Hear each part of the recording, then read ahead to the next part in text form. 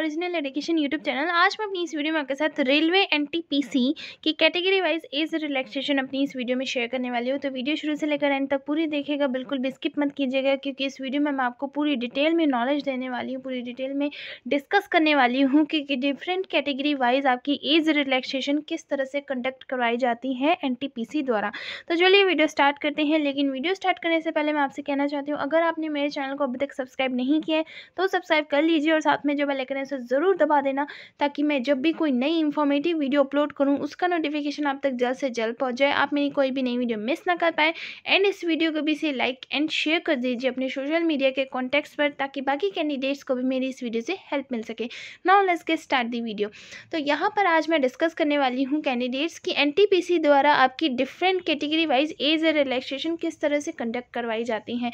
तो काफ़ी कैंडिडेट्स को क्वारीज होती हैं कि उनकी एज रिलैक्सेशन कितनी दी जाती है।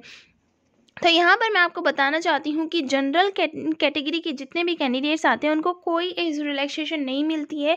नो रिलैक्सेशन यहाँ पर लिखा गया है। आप कोई भी एग्ज़ाम अटैम्प्ट करते हैं, चाहे बैंकिंग का एसएससी का या फिर एनटीपीसी रेलवे का, या फिर अदर जो गवर्नमेंट एग्ज़ाम्स होते हैं, आपकी जनरल कैटेगरी की एज रिलैक्सेशन बिल्कुल नहीं रखी जाती है। कोई एज रिलैक्सेशन आपको नहीं दी जाती है। आपकी एज लिमिट लास्ट जितनी तय की जाती है, उसके बाद आपकी एज बढ़ जाती है तो आप एग्ज़ाम अटैम्प्ट नहीं कर सकते हैं। लेकिन अदर कैटेगरीज जो होती हैं, उनकी एज रिलैक्सेशन देने का मतलब ये होता है कि वो जनरल कैटेगरी की एज लिमिट जहाँ पर एंड होती है, जहाँ पर ख़त्म होती है, उसके तीन साल, पाँच साल या फिर दस साल जितने अदर कैटेगरीज को मिलते हैं, वो उन एक्स्ट्रा ईयर्स में भी अपने एग्ज़ाम को अटैम्प्ट कर सकते हैं। ये होता है डिफरेंट कैटेगरी का एज रिलैक्सेशन तो इस वीडियो में मैं आपको डिफरेंट डिफरेंट कैटेगरीज के कैंडिडेट्स किस तरह से एंड कितनी एज रिलैक्सेशन को को अटेम्प्ट कर सकते हैं अपने एग्ज़ाम में, ये मैं आपको बताने वाली हूँ। तो जनरल कैटेगरी के लिए कैंडिडेट्स नो रिलैक्सेशन है एंड ओबीसी कैटेगरी के लिए थ्री इयर्स का एज रिलैक्सेशन एनटीपीसी द्वारा दिया गया है। S C and S T category की बात कर लेते हैं तो फाइव ईयर्स का एज रिलैक्सेशन दिया गया है। नेक्स्ट यहाँ पर पर्सन विद डिसबिलिटी जिसे पी डब्ल्यू डी बी कहा गया है, उसे टेन ईयर्स का एज रिलैक्सेशन दिया जाता है। नेक्स्ट बात कर लेते हैं person with disability P category में ही आते हैं, लेकिन ओ बी सी में भी आते हैं। हैं तो उन्हें थर्टीन ईयर्स का एज रिलैक्सेशन दिया जाता है। नेक्स्ट बात कर लेते हैं, यहाँ पर person with disability PWD category में ही आते हैं, लेकिन S C and S T category में आते हैं तो उन्हें फिफ्टीन ईयर्स का एज रिलैक्सेशन दिया जाता है।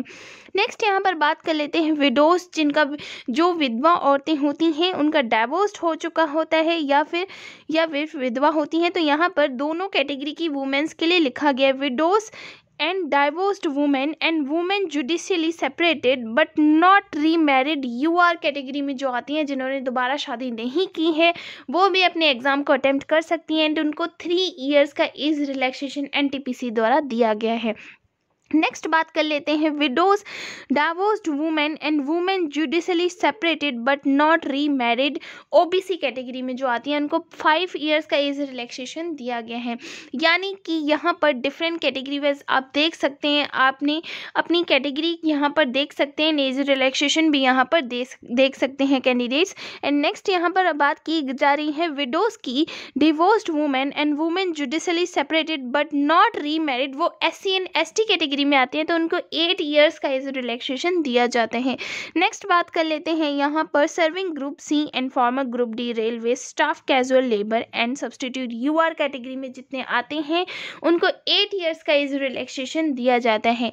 तो यहाँ पर आप किसी भी कैटेगरी से बिलोंग करते हैं, कोई इशू नहीं है, बस इतना आपको जानना बहुत ज़्यादा ज़रूरी है कि आप किस कैटेगरी से बिलोंग करते हैं एंड आपकी कैटेगरी वाइज एज रिलैक्सेशन यानी कि आपको कितने साल की की छूट दी जाती है एग्ज़ाम अटैम्प्ट करने की। ये जानना बहुत ज़्यादा ज़रूरी होता है ताकि आप अपने ईयर्स के अकॉर्डिंग हर साल एग्ज़ाम अटैम्प्ट कर सकते हैं। आपको ये अच्छी गोल्डन अपॉर्चुनिटी मिलती है। नेक्स्ट यहाँ पर मेंशन किया गया serving group C and former group D railway staff casual labour and substitute जो ओबीसी कैटेगरी में आते हैं, उनको इलेवन ईयर्स का एज रिलैक्सेशन दिया जाता है। नेक्स्ट बात कर लेते हैं serving group C and former group D railway staff casual labour and substitute जो S C and S T category में आते हैं, उनको थर्टीन ईयर्स का एज रिलैक्सेशन दिया जाता है.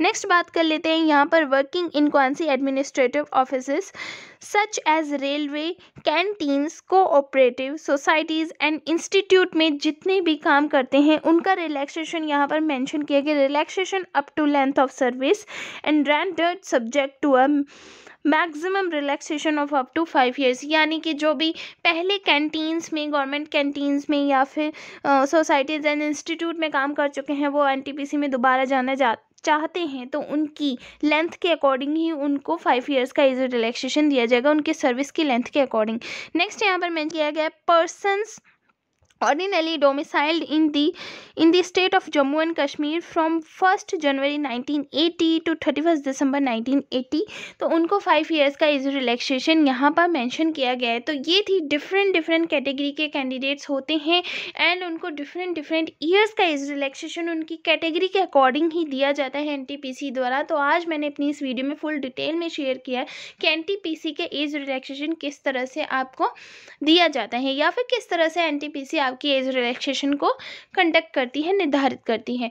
तो मेरे चैनल पर काफ़ी तरह की एज रिलैक्सेशन या फिर डिफरेंट डिफरेंट तरह के एग्ज़ाम्स की एज रिलैक्सेशन मेंशन है। मैंने एससी एसएससी के एग्ज़ाम्स की बैंक के एग्ज़ाम्स की भी एमटीएस के एग्ज़ाम्स की भी सी के एग्ज़ाम्स की भी different different age relaxation mention की हैं। अगर आप इनमें से कोई भी एग्ज़ाम अटेम्प्ट करना चाहते हैं तो उसकी एज रिलैक्सेशन की नॉलेज को लेना चाहते हैं तो मेरे चैनल पर विज़िट कीजिए। वहाँ पर age relaxation selection process and salary से रिलेटेड काफ़ी सारी वीडियोज़ अपलोड हैं डिफरेंट डिफरेंट एग्ज़ाम से रिलेटेड वो भी चेकआउट कीजिए, आपके लिए बहुत ज़्यादा इंपॉर्टेंट होने वाली है। एंड इस वीडियो से रिलेटेड अगर आपकी कोई कैटेगरी वाइज क्वारी है तो आप मुझे कमेंट बॉक्स में कमेंट करके बता सकते हैं। मैं आप आपके आपको रिप्लाई करने की पूरी कोशिश करूँगी। तो इस वीडियो को अभी से लाइक एंड शेयर ज़रूर कीजिएगा। एंड तो मिलते हैं फिर नेक्स्ट यूज़फुल वीडियो में। तब तक के लिए thank you have a nice day bye bye